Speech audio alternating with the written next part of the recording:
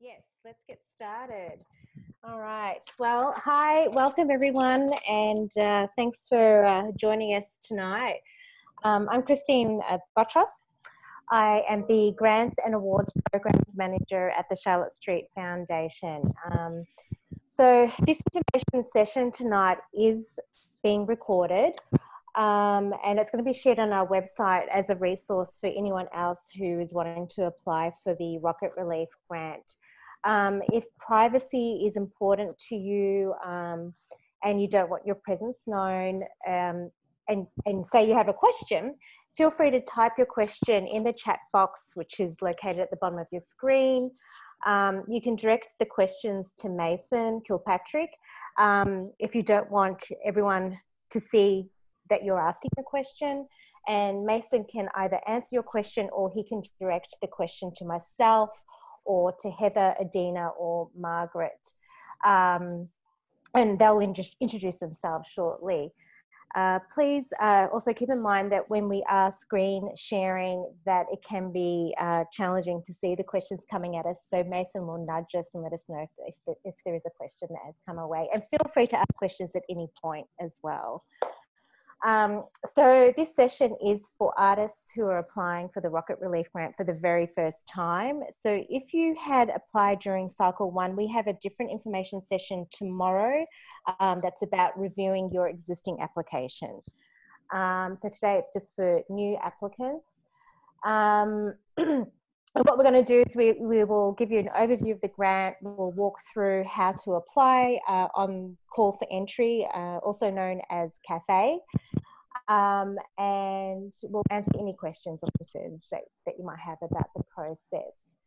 Uh, so firstly, let me introduce our Charlotte Street Rocket Relief partners, uh, the Spencer Museum of Art and Arts KC um, both of whom have generously given uh, financial and administrative support through the cycles that we, we have done. Uh, Heather, would you like to introduce yourself first and, um, and then I'll just call you out, each of you, to introduce. Yes, um, uh, thank you. I, am Heather Beffa. I am the grants manager at Arts KC Regional Arts Council. Um, uh, we exist to promote, support, and advocate for the arts, and also as a central resource um, for our whole arts community. You can find us at artskc.org. Um, we have another site called artskcgo.com where you can find events by hundreds of artists and arts organizations around our community throughout the year.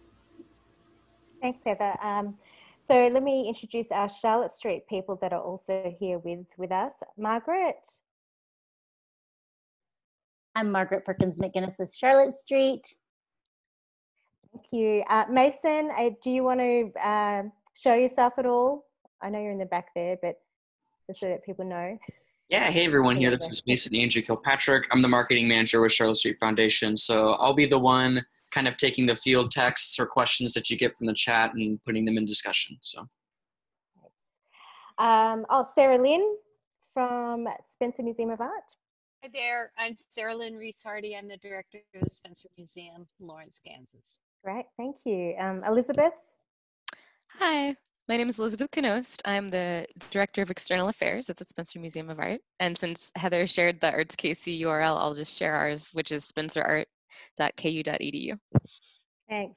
And Adina, um, if you want to introduce yourself, and then I'll let you um, talk about how the Spencers involved and um, how the Rocket Relief Grant was initiated through the Andy Warhol Foundation.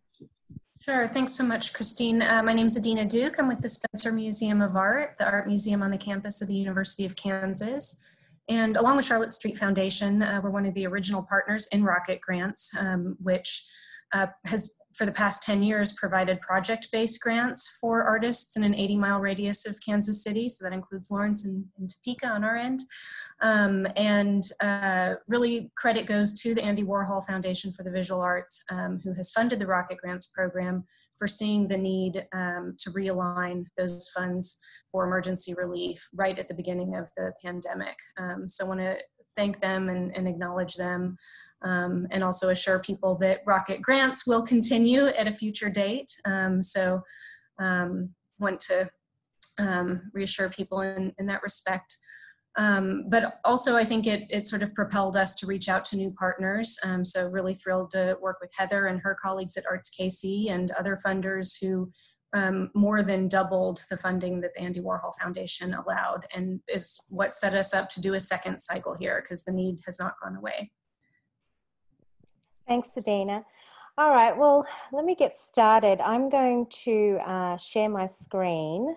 Um, just want to make sure that I have access here. And let me see, where are we? Oh, here we go. Um, okay.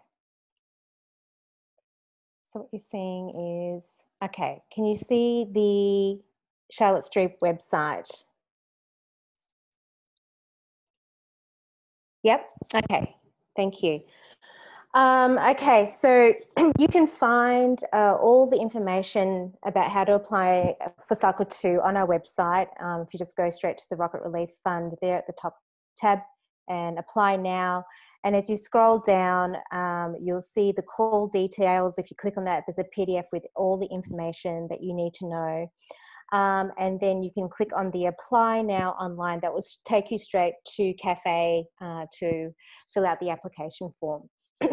So the main things to know i guess is well the grant is a, a $1000 flat stipend. There are no restrictions on uh, what you can use the grant for. For cycle two we have $50000 uh, 10 artists will be selected each week and we anticipate cycle two then running for five weeks this could be extended if we do get additional funds. Um, uh, so either we extend it or we look at just giving more uh, grants throughout the five week period. Uh, the first draw of applicants will be reviewed on September 18th and we will notify the, those 10 artists on Friday, September 25th. So if you're applying, try to get your application in before September 18th, before we start reviewing the applications.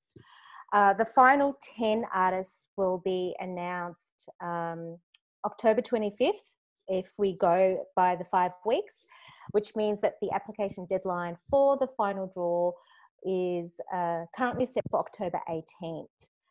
Now, uh, cycle two, like the first cycle, will use a lottery method, and I'll have Margaret explain that to you a little bit later.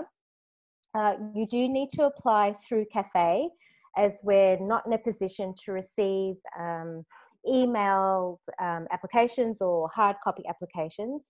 Uh, so if at any point you do have difficulty with Cafe, please, please just email rocketrelief at charlottestreet.org and one of us will be more than happy to help or you can contact us directly. Uh, so you're eligible for the grant if one you identify as a visual or multidisciplinary artist or as a theatre artist, um, a dancer, a musician, or a performative storyteller. And if you go on our website um, or you you know look into the call for entry, it goes into a little bit more detail as to what each of those disciplines um, uh, allow in terms of eligibility. So just read that carefully. Um, we ask that you show and demonstrate an active creative practice in the past, in the last two years. Um, you do have to live uh, within 80 miles of the Kansas City metro area. Um, and if you are applying, apply as an individual artist. Um, we found in Cycle 1 that there were situations where we had um, people applying as organizations, uh, such as nonprofits or an artist run collective, and they're not eligible for the funding as entities. Uh, however, if you're an individual artist and you're associated or affiliated with a particular entity, that's totally fine. Um, even if you are running a nonprofit, that's totally fine, as long as you are applying as an individual artist because um, we understand that might have been your income and that's where you've lost um, income and um, and that's affected your ability to um, you know to create um, and so forth if you have already received a rocket relief grant you're no longer eligible you must be over 21 you will need to provide a W-9, a social security number, or an individual taxpayer identification number. Um, and you cannot be an employee or board member or an immediate family member of uh, the Charlotte Street Foundation, the Spencer Museum of Art or Arts, KC. So that's the eligibility criteria. Uh, any questions about that before I keep going? Okay. All right, so before I get Margaret to sort of talk about um, uh, the decision-making process and the weighting system that's used, I just want to give you all a bit of background about what we did learn from uh, the first cycle of the Rocket Relief Grant. Um, and again, you can find all this information on our website. So it was just there when I clicked on what we learned from cycle one. And I just want to share this with you because it had some bearing on um, some of the changes we made for cycle two from uh, cycle one. So cycle one um, started uh, with $120,000 and an additional $73,000 was raised, uh, giving us a total sum of, um, let me do my uh, $193,000. Uh, and we had a total of 594 artists applying for the uh, first cycle. So almost 600 artists applied for, for the grant in cycle one, and we awarded 143 grants, and we used, so therefore we used about $143,000. So that now leaves us with the $50,000 uh, for cycle two. Now, the original um, 120,000 was restricted to artistic disciplines, which is so when you see these two pie charts in front of you, uh, you might see a disproportion between all applicants who applied and the recipients um, who um, uh, who received the grant. Um, most notably, you might notice the theatre artists, where we had 12% theatre artists apply, and 30% uh, of the grants awarded went to uh, theatre artists. The only reason why that was is because we had um, a generous contribution from Theatre League of $40,000 that was restricted to theatre artists. So the difference is with Cycle 2, the $50,000 is all unrestricted funds. Um, and so it's not going to be influenced by artistic discipline, but on the risk factors that are impacting um, artists who are applying. The other notable change that uh, you'll see in cycle two um, is that we're using demographic uh, information in the selection process, which of course will remain anonymous. And you do not have to actually uh, tell us either. So just so you know. Um, but in cycle two, we are committed to um, awarding at least 60% of the grants to artists who self-identify as Black, Indigenous and or artists of colour. Um, and cycle one didn't factor race and ethnicity into the selection process. Um, however, what we did find is that 28% of all applicants did identify as BIPOC, and 28% of the grants that went out also went to artists who identified as BIPOC. Um, so we do know, so I'm just scrolling down a little bit here, when we look at race um, and ethnicity in conjunction with risk factors, um, and we and we do know that BIPOC communities are uh, two to three times more likely of getting sick or dying from COVID, and are at a greater risk due to uh, certain risk factors. And we also saw this when we did compare race and ethnicity with the risk factors in the rocket relief applications. So this graph that you see in front of you shows, for instance, that BIPOC um, applicants were almost 50% more likely to not have health insurance uh, compared with people who identified as white or Caucasian. Um, another striking difference you might see is um, is the uh, who doesn't have a financial safety net. Uh, so 78% of BIPOC artists did, didn't have a safety net uh, compared to 57 uh, of the 57% of Caucasian artists. Um, so there is a lot of information there. I'm going to stop sharing because it is it is a, it is a lot. I don't overwhelm you all, um, but feel free to to go on there and have a look and read it and and take your time with that information. Um, but in, anyway, in the interest of time, uh, I'm going to move on and I'm going to let Margaret speak to uh, the how we um, uh, to the weighting system that we use with the lottery. Thank you. Um, so the um, Rocket Relief program is is the selections are made using what is called a weighted lottery system. So there are elements of the system that are random, and there are elements of the system um, that are um, weighted in favor of, in this case, um, applicants who demonstrate a greater number of risk factors. So, um, with recognition that um, as the risk factors compile on upon one another, um, individuals may more have uh, maybe experience a more se- severe impact of COVID, um, or the economic challenges related we use the system that um, essentially would put a, an individual who has greater um, risk at greater likelihood of receiving the um, the grant. So, if, for example, we have an individual who demonstrates only one risk factor, they are still under consideration, and when the um, when the selection is made, the selection is made randomly.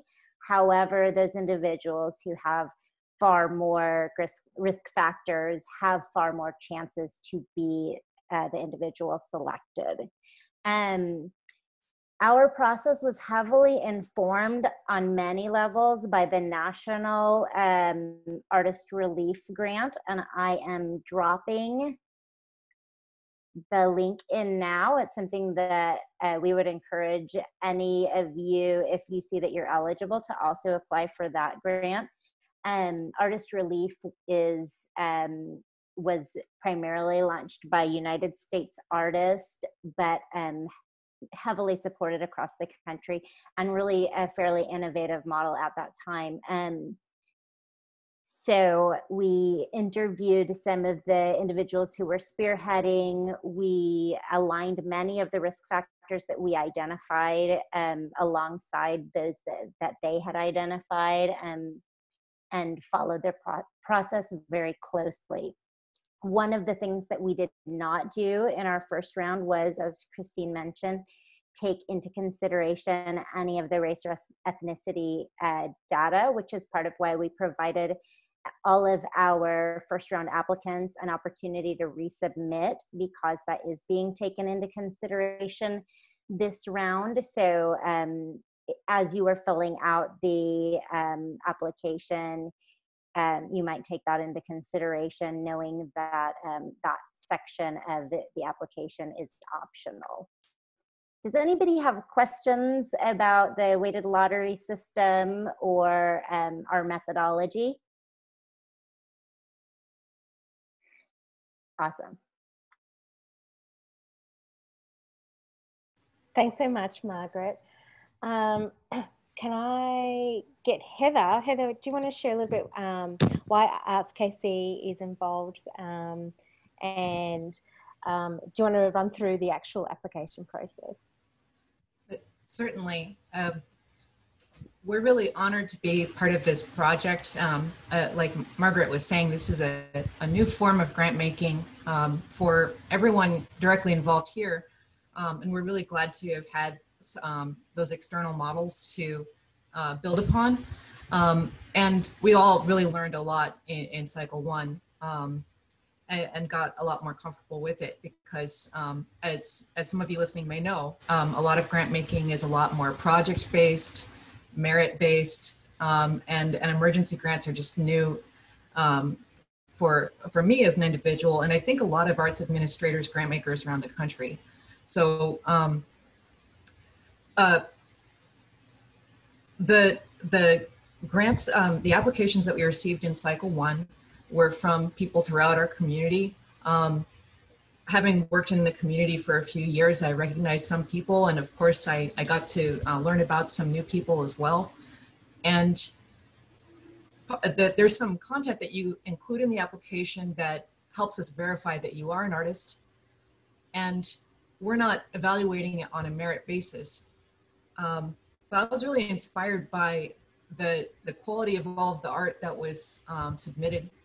Um, we've got a really robust region um, of, of folks who, who dream big, who work hard toward their ambitions, and who achieve on um, on, on a really fantastic scale. Um, so I was definitely inspired to um, work with our Arts KC board and uh, leaders uh, to try to make sure that we could fulfill more of um, the need in rocket relief. And that's part of why we're doing cycle two.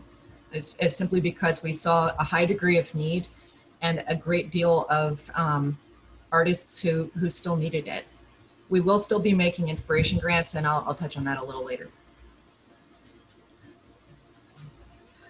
Uh, Christine, I think I think in the in our um, in our talk, I, I'm going into the application next. Is that right?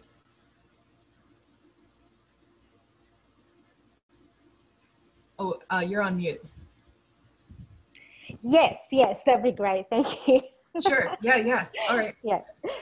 Um, all right, well, I'm going to share my screen and walk you all through the application process. Um, so hang tight.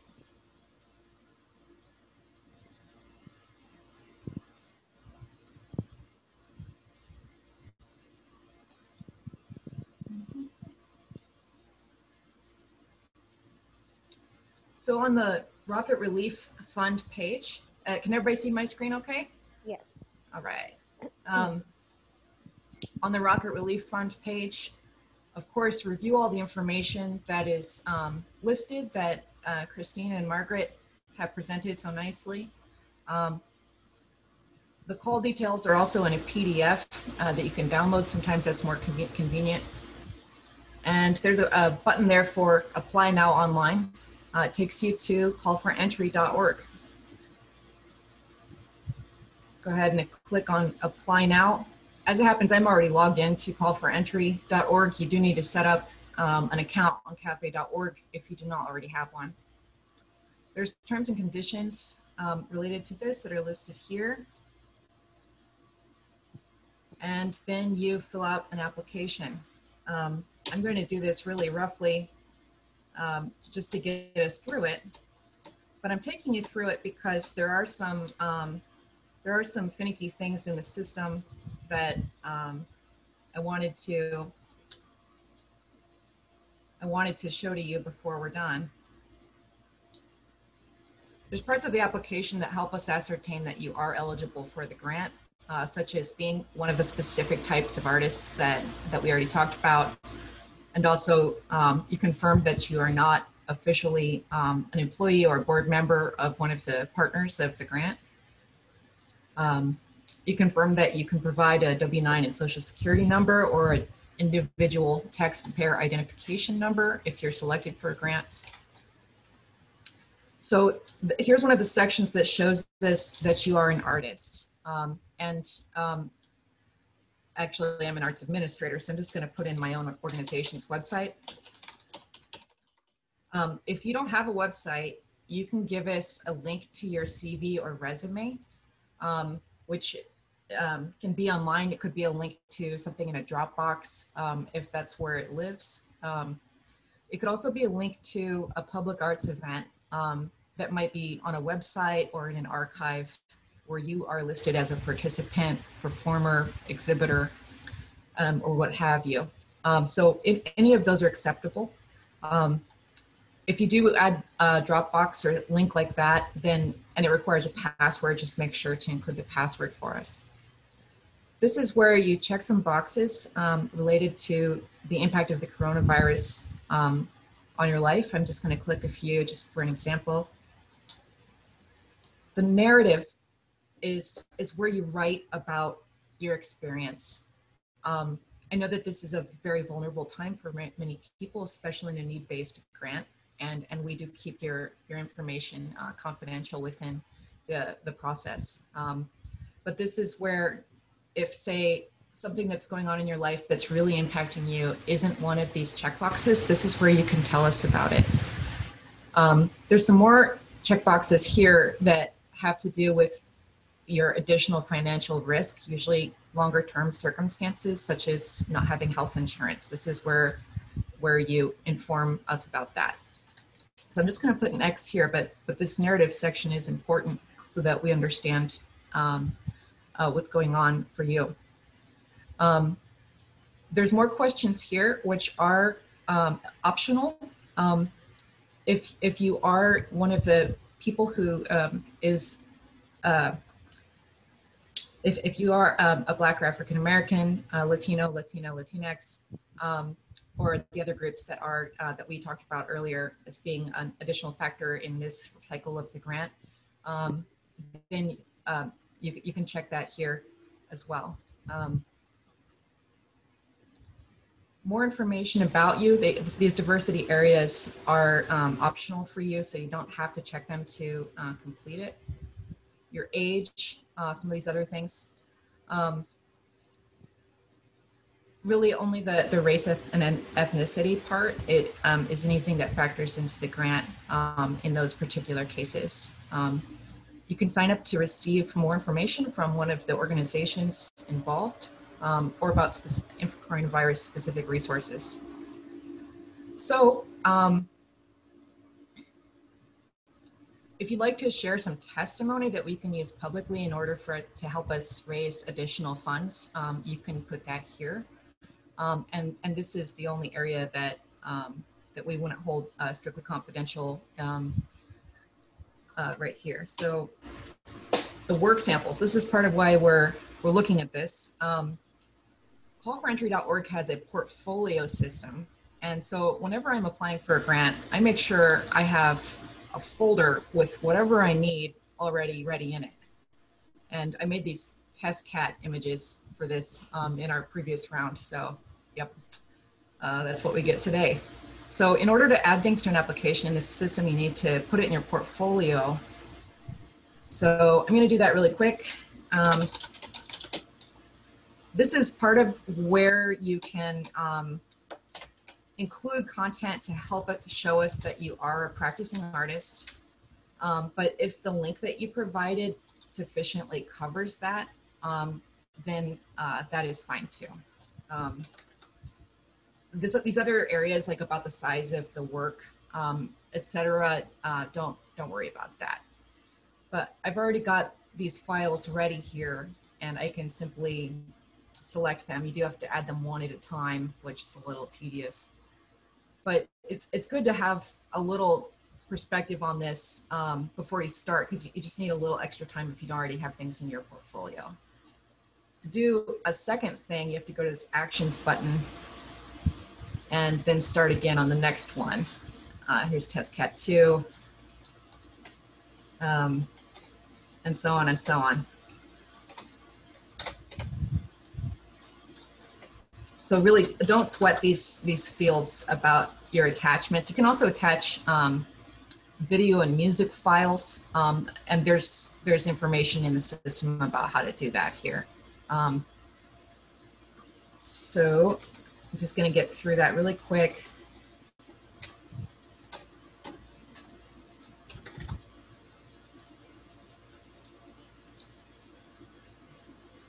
And oh, I think I've got three. This is my third cat, right?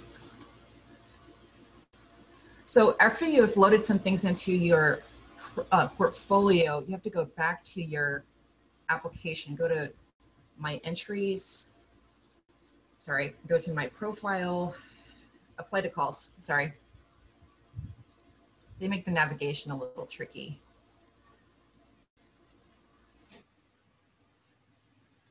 Wow. Sorry about this, guys. Um,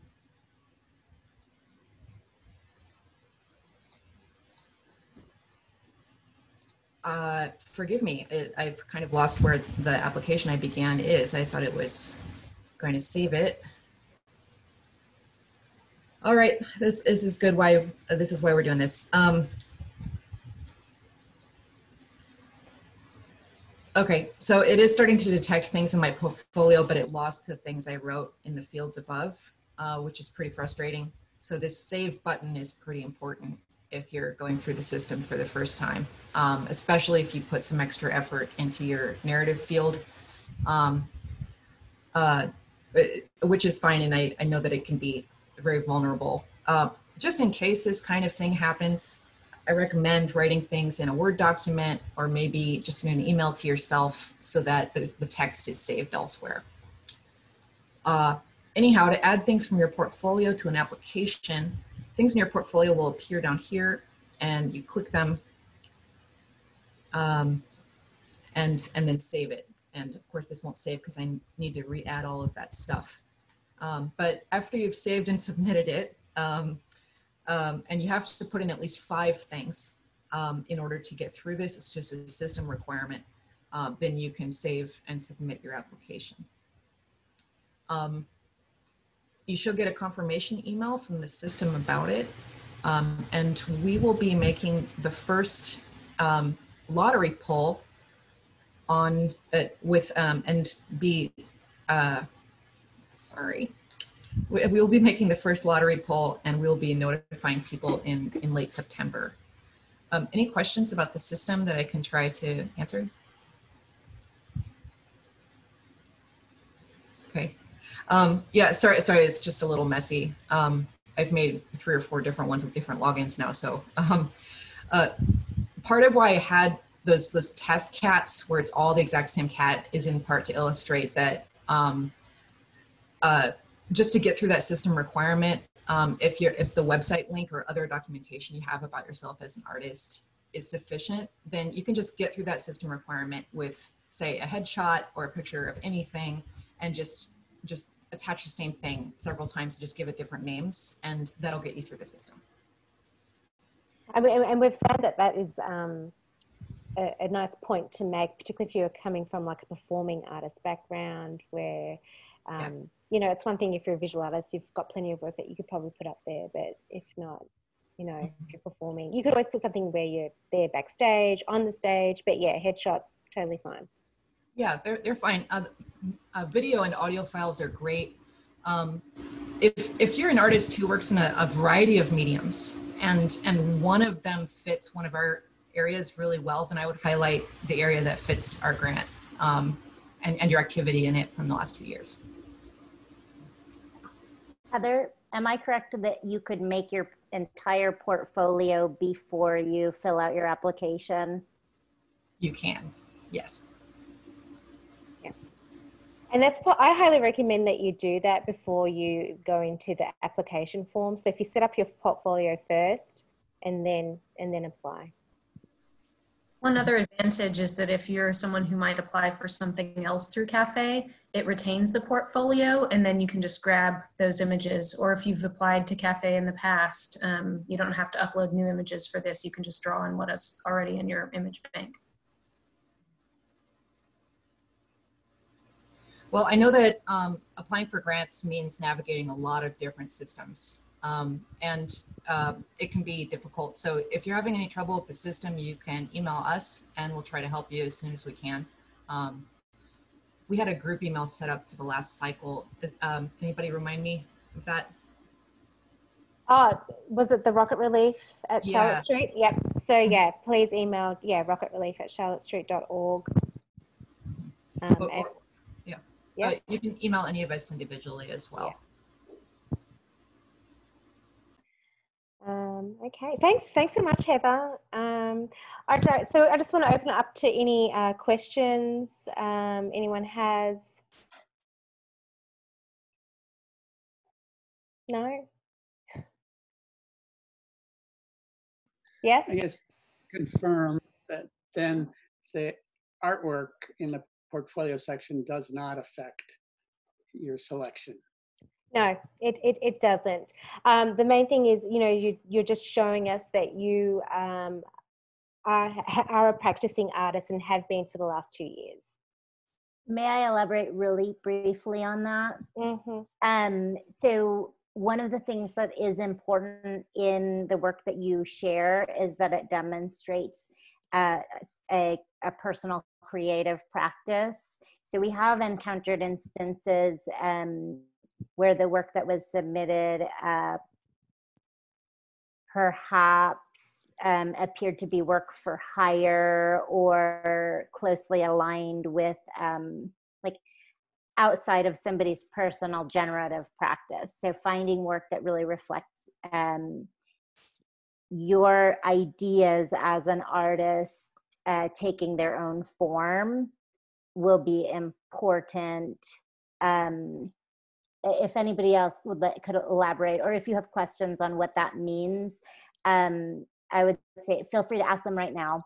But also feel totally comfortable to to email us um, examples, and I'm sure that the um, that Christine would be willing to say like yes, or you know it might be helpful if you show a couple of examples like blank and it's very rare that we've encountered these instances but for example if your work was like a recreation of a pepsi logo made for pepsi we might want to see a couple of examples that show something um, that demonstrates your own creative impetus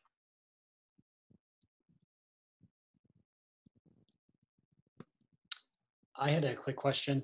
Is there a specific amount of time for videos or audio when submitting? That's a good question. Um, is it? I think I don't know. I'm not really sure with the cafe system. Heather, do you know? I mean, I would say keep it down to five minutes. Uh, yeah, I, typically yeah. with platforms, I think it's three minutes. But yeah, double check. Yeah. It, most systems have a file size requirement and, mm. and that'll limit you in some way or another. Um, I really enjoyed seeing some of the music and video um, uh, uh, things that we, we, we got to see um, in the last round. Um, uh, so uh, definitely feel free to include them if you like, um, or, or if that if that is something that um, helps uh, fulfill eligibility for your question. We probably won't watch anything longer than three or five minutes. that makes sense. Yeah. No, I would say the system would tell you whether or not um, okay be uploaded as well. But also when you go in, there is some information on Cafe that tells you what the requirements and restrictions are around um, your uploads. Okay. Yes. Yeah, for both images and and uh, moving files. Cool. And if something doesn't fit, that could also be in a link that you provide. Um, if you want to direct attention to to something that's beyond the link oh, that's allowed okay. upload. Yeah. Thank you. No worries Thank you. Good question. Okay. Any anyone any any final questions? I, just wanted to be sure that the question about uh, I, I see it's Tom. Did your question actually do do you feel it was answered? Did you feel okay? Okay. Um, and then I also just wanted to thank all of you for being artists and how much how important that is right now and how moving it is for us to just be able to at least offer some of this and we wish we could offer a lot more but thank you for the work that you do um, okay before we go is there anything um, any of you would like to share like anything that's coming up um, that you'd like us to know about?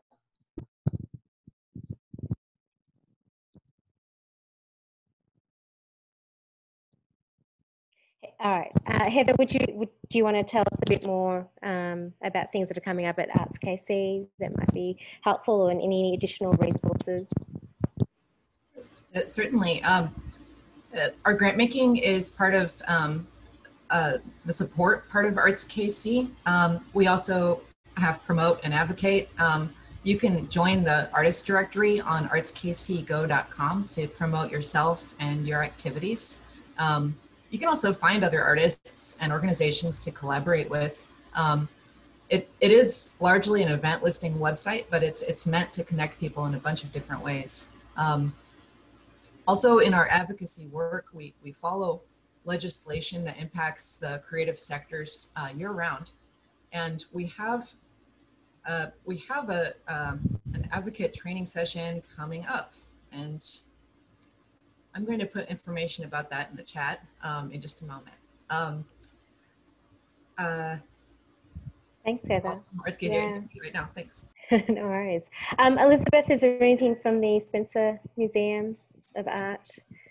Uh, yeah, well, I was just gonna say that um, we aren't we aren't haven't reopened uh, our galleries yet to the public. We're still in the process of of figuring that out. Um, uh, but if you want to stay connected with us in the meantime in all of our virtual happenings, and then also to stay updated on how our reopening is progressing, then I'm going to drop a link in the chat for signing up for our e-news, which comes out every other week, and um, certainly following our we're on various social media channels and our main webpage has updates as well so we're trying hard to reopen as soon as we can but being safe about it so uh, stay tuned we hope to be able to host those of you who venture to lawrence in person sooner than later Thanks, thanks, Elizabeth. Okay, well, I just want to um, thank you all, and I want to thank our partners um, and everything that you guys have, um, the support and the team that um, I've been able to work with. But also, I want to thank all you guys and artists who've, who've come and spent your evening with us tonight. And uh, if there's anything else that any of us can do, please, please reach out to us. Um, and yeah, best of luck. Thank you. Have a good night.